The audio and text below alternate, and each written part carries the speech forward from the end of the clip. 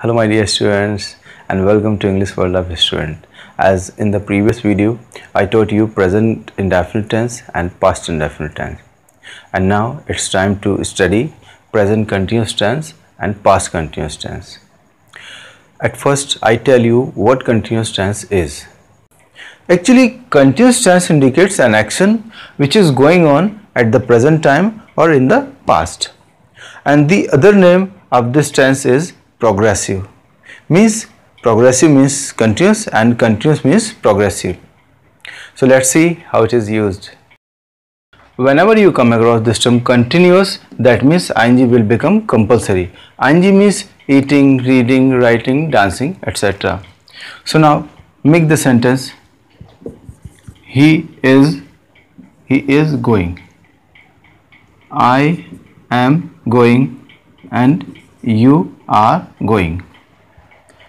And in past indefinite tense ing for continuous and was were for past.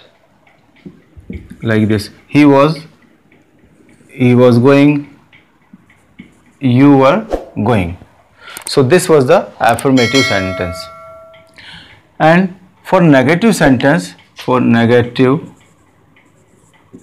you just have to use not at the third place he is not going i am not going you are not going. Only not at the third place. Here is also not at the third place. He was not going you were not going. Okay.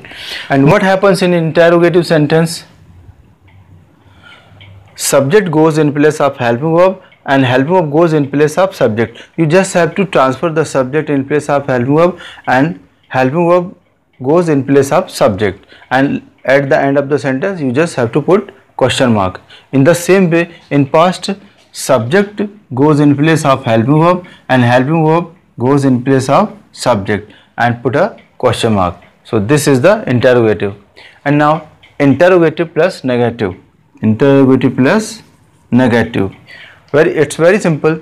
You just have to use not in the third place. Is he not going? Am i not going are you not going? In the same way interrogative negative of past past continuous. Was he not going? Were you not going? Okay? So this was the continuous tense guys. And see you in the next video with present perfect and past perfect. Till then goodbye